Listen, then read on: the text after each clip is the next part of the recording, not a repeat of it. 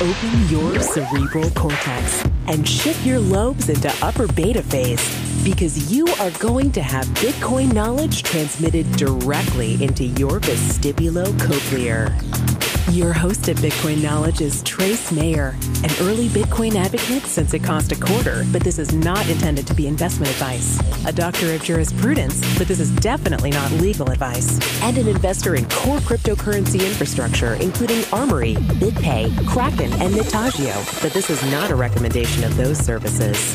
Here, you get fed via direct mind download with pure and free Bitcoin knowledge.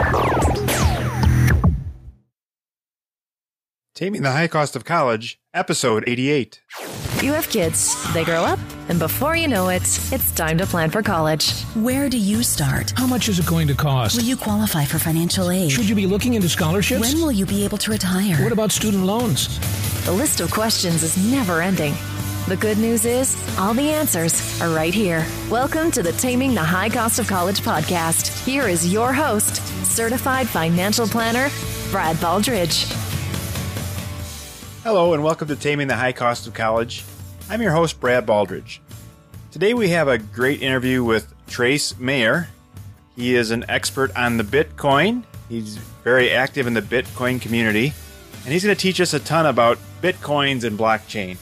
And a lot of you are saying, well, what the heck is that? And it's a new technology that's going to potentially revolutionize a lot of secure transactions that we've done in the past how to transfer medical records or stock certificates.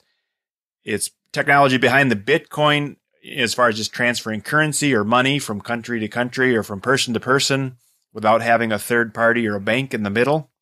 So it's a lot of great technology. Now, a lot of you are saying, well, what does this have to do with college? Well, a Bitcoin per se is probably a long ways off before you can actually pay for college with a Bitcoin, but maybe I'm wrong. Maybe there'll be a school soon that will accept a Bitcoin. But more importantly, it's the technology and it's the way you think about the technology and the way your student thinks about technology. Uh, Bitcoin is an, going to be a potentially a brand new industry, just like cell phones didn't exist when you and I were going to college. Again, we're the old parents in the room. So we didn't have cell phones growing up and we just had a really long cord on our phone and we took it into the bedroom and that's how we got our, our phone from room to room since that time, of course, cordless phones have come along and then cell phones have come along and a lot of great advances. There are advances, of course, now in finances and technology as far as around the Bitcoin. So if you're interested in the Bitcoin, by all means, you'll, you'll learn a little bit about the Bitcoin, but you also learn bigger applications. We'll learn about block technology and other technologies and just think about and maybe this isn't the right technology for you. Maybe your student is going to get involved in medical technology or computer science or engineering technology or materials or lighting. I mean, there's all kinds of great technology, solar. There's huge industries that are being created as we speak. And all these industries are going to need workers and all these workers are going to need to get trained either on the job or through their own endeavors or through college. And all of this, I think, applies to our future. So go ahead and listen to this great show about Bitcoin and show notes are available at Taming the High Cost of College slash 88. And Trace does mention a number of websites and so forth. We're going to have that all available for you on the show notes. So you don't need to write them down. You can just come to our website. Uh, but enjoy this interview. And again, think about the bigger picture. How does this apply to our future? Both you, you as parents who maybe you can say, you know what? I don't need technology. I can get by. But what about your students? They're going to have to learn and understand technologies. Kind of like you struggle with your cell phone, but they get it. What are they going to be struggling with when they're 40 years old? They're going to, they're going to have to keep up with technology as well. All right, let's go ahead and jump into this great interview with Trace. All right, today we're sitting down with Trace Mayer. He is a Bitcoin expert. He literally wrote the book called Bitcoins for Kids. Uh, welcome, Trace. Oh, glad to be here. All right. So I guess to start with, I think most people listening to this are old and they have kids of their own, and perhaps they've never even heard of what a Bitcoin is, or maybe they've heard of it, but they don't really understand it. So why don't you tell us a little bit about what a Bitcoin is, and then we'll jump into a little bit more about what why you got involved in it and so forth. Yeah, so Bitcoin uh, at its kind of fundamental layer, it's a new internet protocol. So, you know, when we go to use the internet, we type in http amazon.com. And that's actually using a protocol. It's called Hypertext Transfer Protocol. Or when we want to send an email to somebody, we use what's called SMTP. It's Simple Mail Transfer Protocol. And what protocols are is they're they're rules that these networks, these computer networks and these computers follow in order to move the information around. Now, what's really cool about Bitcoin is it's the first time that we're able to send value over a communications channel. So we're able to, you know, the the easiest way to understand it is we're able to send money over the internet. And this is at the real root layer of the internet because everything we've had before, we've always had to go through a centralized third party, whether that's a bank like Wells Fargo or whether it's something like PayPal. But this time we're able to send money directly person to person using internet protocol. And so, you know, that's just, and that's just one application. We're going to be able to have thousands of applications of this blockchain technology, uh, but it is going to fundamentally kind of change the way that we send money, the way that we establish trust on the internet, and it's it's really exciting. Right. Okay. So I guess there's two things at play here, just to kind of clarify. There's the Bitcoin, which is one particular application of this technology, and then there's also the huge market of the underlying technology itself. Is that fair to say? Well, so Bitcoin in order to use the internet protocol, you need what are called bitcoins. They're the token that you use to send around.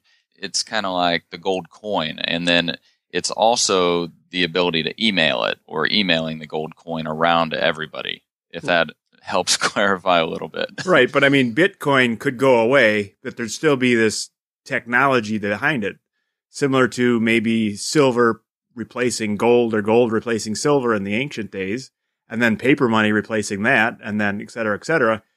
Bitcoin may or may or may not survive, but there's still a huge technological infrastructure behind Bitcoin that might survive and be you know come up in a different way. Yeah, I guess to hone in a little bit on that, Bitcoin, you've got blockchain technology, and so an analogy would be metal, and then you've got Bitcoin, and an analogy would be gold, and so in order to and then with gold, we have lots of different uses for gold. We can fill our teeth with it. We can use it in computers or electronics, or we can use it as money. And so uh, that's similar with Bitcoin. You know, we we it's just one of many different internet protocols that enable us to send value over the internet or these protocols and only you know one use of it is as money but there are lots of other uses that we could use Bitcoin for, and we could use these other protocols for. Okay. So let's back up a little bit because we jumped into Bitcoin, which is obviously very interesting. But tell us a little bit more about yourself. Why, why, or how did you get involved in this? I almost want to call it arcane technology, or I mean, it's just it seems a little out there for a lot of people. And what yeah. you read is is a cross between cool technology and fad, I guess. Yeah. So I've always been interested in money uh, and computers and like all this stuff. And so I ran I ran into Bitcoin uh, about seven years ago. That's when Bitcoin started, uh, and I started you know being one of the first evangelists or people that would really talk about it publicly. And that's when it was about five cents per Bitcoin. Uh, currently, it trades for about five hundred dollars. Uh, and you know, I could see that it had this potential uh, in so many different ways to just fundamentally add value to society and to humanity. And so that's one of the reasons I got involved in the technology. Uh, and in the process, I've funded a lot of the core Bitcoin infrastructure, uh, like BitPay, for example, where it's the largest merchant processor. Uh, we process for Microsoft and uh, Newegg and Tiger Direct and a lot of other big companies. And then Kraken, which is the largest exchange. That's where people can trade their bitcoins for dollars or for euros. And then I also funded Armory, which is wallet software where you're able to keep your Bitcoin safe, uh, which is uh, obviously a very important thing. You don't want hackers to steal your, your Bitcoins. It's a, it's a problem. Right. Absolutely. So how did this apply again? If I, if I like, if I'm a parent of a 17 year old and what does this all mean to me as far as you know what what's down the pipe as far as the future and why we would care about some of this kind of stuff? Yeah, so I think you know one of the one of the critical issues is one you just being a responsible parent you want to kind of know what your kids are doing in terms of technology. Um, they might be a step ahead of you just because it's easier for the younger generation to pick these things up. Uh, but you know, I think it's important for parents to at least kind of understand a little bit about what their kids are involved in, what their kids are doing. Uh, when I was a teenager, you know, the internet was kind of coming of age, and I was very entrepreneurial, and so I actually started some businesses on the internet and made money and paid for my college actually with with proceeds that I'd made from my businesses and one of the biggest problems I had was receiving payment. And, you know, if somebody wants to start up their digital lemonade stand, they can't just go get a merchant account and accept credit cards. I mean, you have to be 18 years old in order to do that. And so any of the any of the kids that you know are entrepreneurial and I'd highly encourage parents to encourage their children in entrepreneurial in entrepreneurship because the world economy is just changing so much. Uh, but in order to really be an entrepreneur in in this day and age, you almost have to use Bitcoin because you have to be an entrepreneur on the internet. You know, you whether you're you're providing some type of personal service like programming services or something for somebody or selling a product. And in order to receive payment, you gotta you gotta receive Bitcoin. Uh, and you can't receive credit cards because you're shut out because you can't have a merchant account. So that's kind of another reason uh, why I think it's important for parents to kind of uh, you know know what their kids are doing and also encourage them in developing these good habits and these good skills. All right, absolutely. I guess let's talk a little bit about that because I think that's a great analogy. I would say that kids five, ten years ago, they were the first ones to Facebook and they were doing things, you know, most of them were good kids, but a few of them were doing things perhaps they shouldn't have been on Facebook long before parents had any idea what Facebook is. And of course, all the kids are now off of Facebook because mom and dad are there and they're off to something else. I think it's Snapchat these days. I, I've got a 13 year old and I, you know, I have a hard time keeping up with where he's going, but I think that is an important point you just made that Bitcoin is a way for kids to get the equivalent of cash that parents may not understand what they're doing or how they're doing it. All right, so let's also talk a little bit about the blockchain technology then, because I think that's a little bit revolutionary. You know, not just the technology behind Bitcoin, which is in itself very interesting, but it's technology that may go other places. What, what can you tell us a little bit about what you what you see coming down the pipe on that? Yeah, so the blockchain technology is the big innovation that uh, is embodied in in Bitcoin. And what blockchain technology enables is it enables something called distributed consensus or distributed trust. You can think of it like having a ledger, and everybody in the world has a copy of this ledger. And as soon as the ledger gets updated, immediately everybody else's ledger automatically gets updated and everybody is able to cryptographically prove that the ledger is true and correct all on their own. Uh, so it's mathematically provable. And so this is a huge, huge innovation because it will enable us to, uh, anywhere we need to establish trust, we can use this Bitcoin ledger to do it. Uh, you know, an, an example is when you log into your Wells Fargo bank account and you see these digits on the screen, how do you know that you actually have those many digits in your bank account? And Wells Fargo actually keeps a copy of the ledger and it's proprietary to Wells Fargo. And that means that Wells Fargo can get out an eraser and just change the balance in your bank account and they can update it to whatever they want. Well, with the blockchain, you have to be able to, to do this in a mathematically provable way and you can't erase anything that's happened in the past.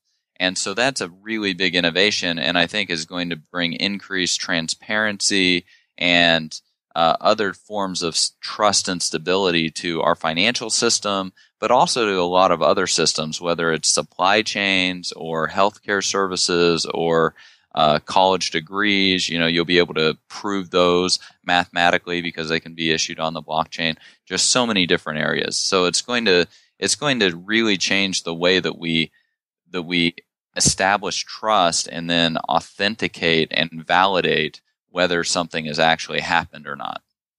Okay, so where do you see this technology making its inroads kind of next? All right, obviously we've got Bitcoin where we kind of have a I don't know what the right way to say it, and maybe an alternate economy that is not controlled by anybody, but also where else might we see this coming? That's a great point. It is kind of forming an alternate economy. For example, uh, I have a kid. Uh, there's a there's a kid that does some uh, work for me. He's in Germany, and I pay him with Bitcoin, and he does some programming work, and uh, and he's really good at it. And, uh, and so I pay him in Bitcoin, so he's able to actually save up some money. So because he wants to do a, a foreign exchange into France uh, this coming year. There's also remittances sending money to the Philippines or to to other countries like Bitcoin is drastically bringing down the costs of doing things like that.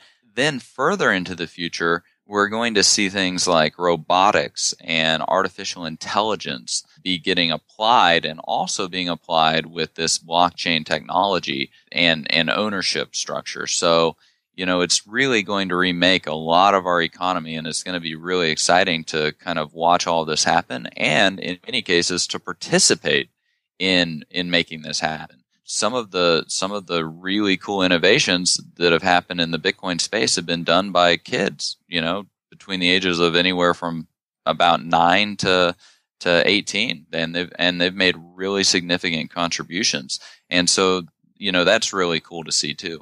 And i guess i've read stories now that the technology behind bitcoin is going to be used perhaps in uh, the stock market and settling stock trades and that kind of stuff. And I think you mentioned earlier when we were talking that it might show up in healthcare as a way to manage records and et cetera. So there's lots of applications for this. Yeah, like I was just reading an article in Bloomberg yesterday about how State Street they do about something like twenty thousand uh, transactions a day have to have manual intervention uh, stock trades in order for them to be cleared and settled, like every single day uh, that's going to be completely automated by blockchain technology. So all of those jobs aren't going to be there anymore. At least, you know, doing that menial paperwork. There will be jobs writing the software code, you know, and writing the systems that interact with Bitcoin and things like that.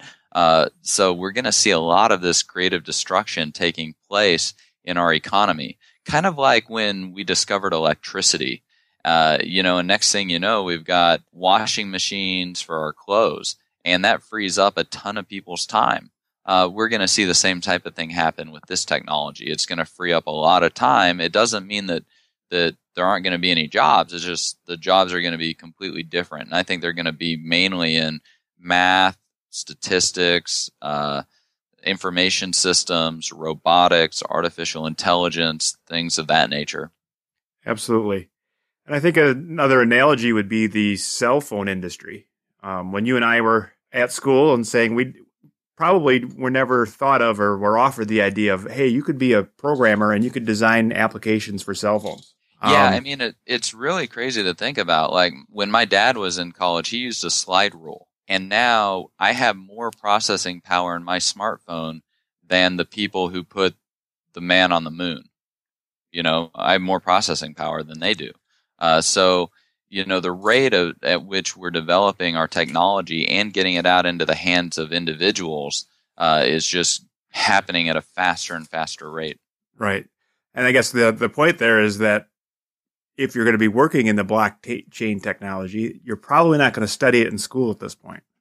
Yeah, there there are no classes. You know, uh, I think there's one degree. There's a there's a master's degree in uh, digital currency at a school in Cyprus uh, but otherwise, I think there's a course at Stanford. There's another course at Princeton that's specifically blockchain technology. They're like three credit courses, uh, three credit hours. Uh, but otherwise, I mean, there's not even a scientific journal dedicated to blockchain technology yet. So there's not really a, a synthesized academic discussion going on yet. Although there's been a ton of academic work in this area because it's the hottest thing in cryptography and uh, and actually, a lot of the legal journals really like things that are called smart contracts that can be enabled with blockchain technology. So, you know, a lot of the academic firepower is starting to kind of turn its attention to it, but we don't really have the classes in school yet for it, which means that, you know, when somebody like Goldman Sachs or uh, one of these banks wants to hire somebody with blockchain experience, there's just not really anybody with that experience to hire. Uh, which means that if your kid has been tinkering around on Bitcoin for a couple years, guess what? They're going to have a leg up for a lot of these jobs, and these jobs are also paying a significant amount of money. I mean, we're most of them are easily six figures, you know, hundred thousand dollars or so a year or more for uh, even entry entry slash one to two year experience blockchain engineers. So, you know, and I think it, I think the demand is only going to continue to increase for it also. Right. And I and again this is the technology that you're familiar with and we're talking about here, but there's probably similar applications in many different areas and many different technologies where in general there's a whole lot of jobs out there that we don't know what they're going to be yet, but 5 years or 10 years from now, again like the cell phone industry, the whole programming a cell phone didn't exist 20 years ago and now it's a huge industry. And I think this is a an area that may become a huge industry as well. Right, and being being a computer programmer, having you know computer science degree or math or statistics or physics, you know any of these degrees where you you've had to learn how to use computation, uh, I think is a very valuable skill. And you know in that toolkit of computation, you have to have blockchain experience now. It's just absolutely vital um, if you're going to be a good programmer. Right, absolutely. Okay, so you also were involved in your the book uh, Bitcoin for Kids. So can you tell us a little bit about that book? Could that be applicable for parents of and what age groups and? Yeah, so I, I actually edited the book. It oh, was written okay. by the uh, the Sabra sisters. Uh, they're they're uh, and I think they were eleven or twelve at the time that they wrote it. Uh, it's a very interesting book because it it basically uh, goes over how kids can use how kids how and why kids would use Bitcoin, and then it also provides some case studies. And I actually found these case studies to just be absolutely fascinating. There was one kid uh, goes by the name Plasmotech, that's his handle. Uh, but he would code Python for people. And this is an 11 year old in the Netherlands. And he would get paid via Bitcoin. And he amassed over like 1,100 Bitcoins from getting paid in it, which at current value today is about $600,000. so, you know, you've got these kids that are running their little entrepreneurial businesses, and then the Bitcoin price also kind of tends to trend in an upward direction. So they really get a multiple in terms of uh, their the efficacy of their savings. Another example were uh, there were a set of three brothers in I think northern Utah and they had this bee business. So they would farm the bees for honey, and they're called the Bees Bros. Uh, that's their website, B E E S B R O S dot com, and you can buy like honey balm, honey lip balm, and and uh, and honey roasted almonds and stuff like that. And from what I understand, they've uh, you know they're multimillionaires now because of how much uh, how much product they've sold, and they've kept it all in Bitcoin and stuff like that. And so it's really, really cool to see these kids uh, running internet, bu- running internet businesses, making money, learning all of those skills of business and operations and solving customer needs, but then also getting the benefit of this foreign currency exchange uh, aspect because you know they've got to manage their expenses in dollars, but they're getting revenue in Bitcoin and and all of these different things. I I think it's just life lessons that these kids are learning at such a young age that are just really going to serve them well in the future, especially as we we become a more international and a more interconnected global world. Right, absolutely. So let's say I have a and I actually I, have, I, do have a kid that's very interested in technology and gaming, and you know he built his own computer system for you know that was his Christmas present last year, and he's starting to you know spend a lot of time on his computer. What would be a good way to introduce a young person to Bitcoin? As far as is there a book that would this be appropriate book, or is there other books, or um, how would we get you know where do you get started? Yeah, so uh, there's several websites out there. One of them that's really easy is weusecoins.com. It's targeted for brand new users of Bitcoin. Uh, there's uh, also another one called Bitcoin.org, and that has more developer reference and implementation type stuff. So if they've already got some programming skills and stuff like that. Uh, but yeah, I mean, it's the type of thing you, you you just go and start tinkering around. You know, try to figure out how to buy your first five dollars worth of Bitcoin, and then start sending it around. And you have to get comfortable with the technology, and you just learn by doing it. Uh, you know, we can talk about theoretically like riding a bike, but just trying to get on the bike for five minutes you know, is worth hours and hours of theoretically talking about it. All right. So that brings up another question. I had noticed that Bitcoin is today worth somewhere in the neighborhood of four or five hundred dollars per coin. Is that still true? Yeah, it's worth. Uh, I think it's currently at like five hundred eighty dollars. Oh, okay. uh, it it can get real volatile sometimes. Like uh, it's been very stable over the last year, and then for whatever reason, in the last week or two, it's just gone crazy. It's gone from like four hundred and fifty dollars to five hundred and eighty dollars. So you know, is real stable, and then uh, then it just got real volatile. right. Okay. So does that mean I need to put it put five hundred and eighty dollars in and buy a coin, or how does that work? Oh, it's uh, it's divisible to the eighth decimal actually. So uh, you you know you can buy any fraction. You can buy one dollar's worth. You could buy a thousand dollars worth. I mean, it doesn't really matter. Uh, it's infinite. You know, it's pretty much infinitely divisible in that sense. So yeah, you don't have to buy a whole Bitcoin, uh, and you can you know you can buy maybe fifty dollars worth. And then there's there's actually a website called Purse.io, and what you're able to do there is you're able to import an Amazon wish list and then you set the discount that you want to receive. And the average discount people get is about 20%. So you can buy Bitcoin, immediately send it to Purse, import your wish list. The person who wants to buy Bitcoin, they buy your wish list, it gets sent to you, and after you receive the items, then you release the Bitcoin from escrow. And so that's an immediate way that you that, that you can actually save a lot of money learning how to use this technology. Okay. Why, I guess, why would people do that on the other end? It seems like they're losing money.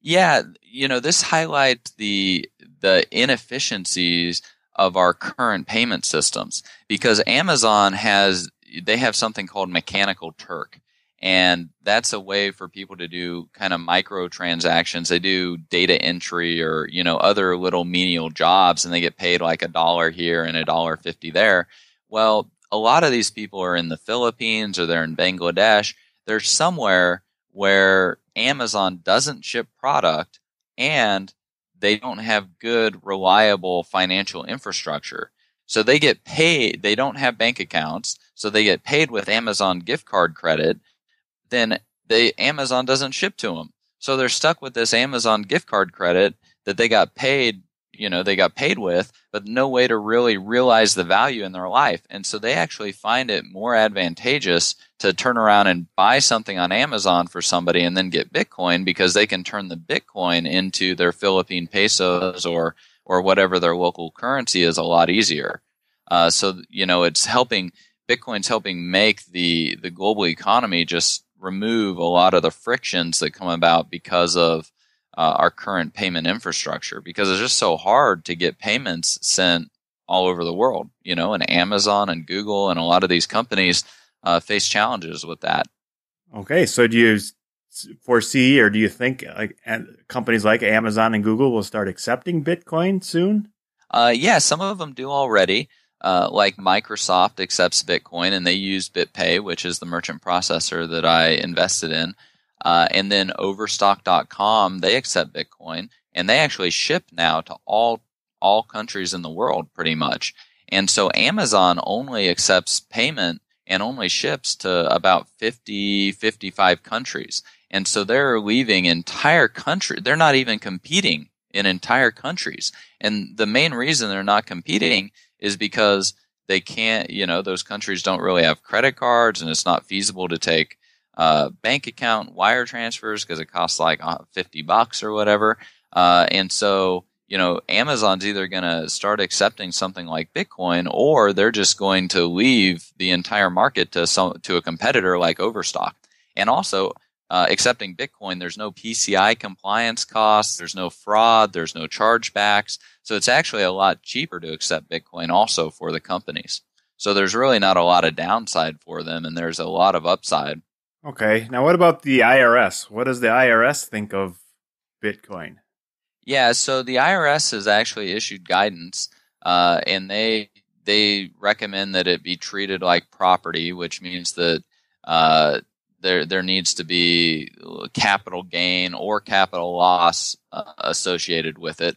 Um, so you know if you're and, and I think that that's mainly I mean, it's I suppose applicable to everybody, but it's you know it's mainly for the larger like Fortress Investment Group bought twenty million dollars worth of Bitcoin, and so they wanted to know since they're publicly traded, they wanted to know how to account for it on their on their uh, financial statements and also how to treat it for tax purposes. And so the IRS put out this type of guidance, and a lot of the different wallet software and stuff it will help uh, people who do want to be compliant with all the taxes to every last penny, uh, it'll help uh, calculate those gains and losses, uh, you know, appropriately.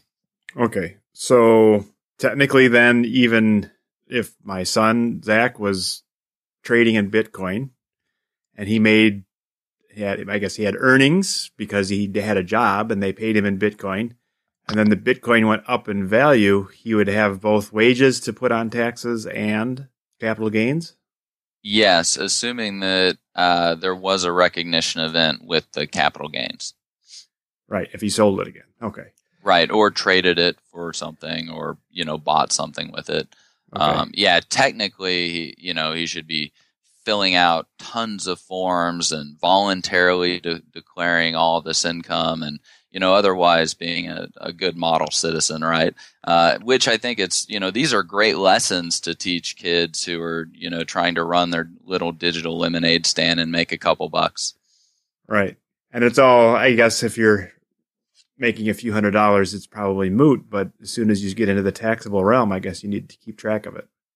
Yeah. I mean, and that's what I'd recommend everybody do. You know, we don't want to have, uh, I don't like having to look over my shoulder or anything. So, uh, you know, I I make sure that I try to have a good faith effort of being compliant with everything. Uh, but of course, there are people that, for whatever reason, don't want to do that, and you know that's their prerogative, I suppose. Right. Absolutely. All right. Well, I think we uh, learned a lot about Bitcoin and this up and coming technology. I really appreciate your time. If people want to learn more, where can they uh, get a hold of you? Or I know you have a podcast and other things, so tell us about that. Yeah, so I I also host a podcast. It's called the Bitcoin Knowledge Podcast. On it, I interview the CEOs of different Bitcoin companies. So you know, if you want to learn about what different people are doing with their companies in the Bitcoin space, it's a it's a really good resource for that. And uh, then for you know, just learning in general about Bitcoin, I recommend weusecoins.com and also bitcoin.org. All right. Well, great. I will put all this information that we just talked about into the show notes as well as uh, your podcast, etc. I appreciate all the great information. Yeah, glad to be here. And, you know, I really hope that your audience are able to prepare the next generation for this huge uh, opportunity and change that we have coming in the future. All right. Well, thank you again. All right, that was a great interview with Trace. I'd like to uh, just spend a minute here and talk to you a little bit about some of the past episodes that you might enjoy if you enjoyed this one. We number 72, we had an interview with Michael Vauder. He's with the Robot Academy. That's a great episode for students that are looking to use technology. In this case, it was robotics. But again, if you're in in any sort of tech area, how he used robotics to win a bunch of scholarships and kind of get involved in the robotic community as early as high school. So that was a great interview. And then number 25, we have an interview with Niall Nickel, and he talks about using LinkedIn and how LinkedIn could be used certainly as soon as possible. I was just talking with a school counselor who now is recommending for some students, especially that they start as, as soon as age 13 when they're allowed to create their LinkedIn account. They go ahead and get started and start building an online resume that they can use through high school and then use through college and then ultimately use it when college is finished as part of their recruiting and finding their first job. But for many students, you're networking and building your links and getting plugged into the whatever industry or world you want to get involved in can start as soon as you're 13 and you're allowed to have that LinkedIn account. So if you want to learn more about LinkedIn, that's number 25 as well. So there's a couple other episodes. And of course, there's many back episodes about all sorts of topics. So if you're new to podcasting, you can go to uh, iTunes, Apple iTunes, and there's the whole list of podcasts there under Taming the High Cost of College.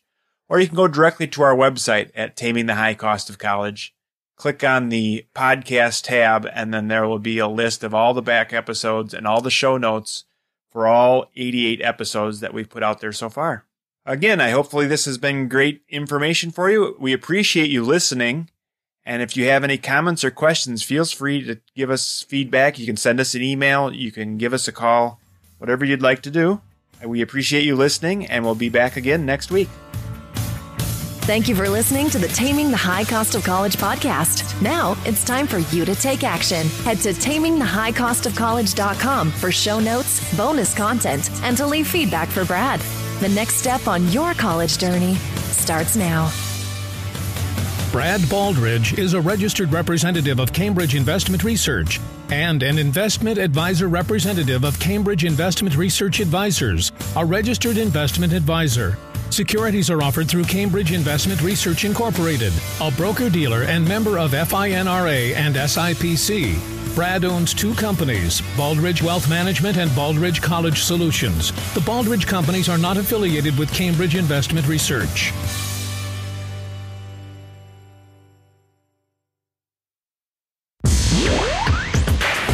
Be sure to get a copy of the free Bitcoin Guide at freebitcoinguide.com. Got a question or suggestion? Record your voice at bitcoin.kn. Don't be shy. To help the show, share bitcoin.kn with friends, post about it on Reddit, and otherwise spam the interwebs. Your iTunes comments and five star reviews are very important to us. Please continue tuning in to the Bitcoin Knowledge Podcast, where we release interviews with the top people in the Bitcoin world. Now take some choline and let that Bitcoin knowledge consolidate.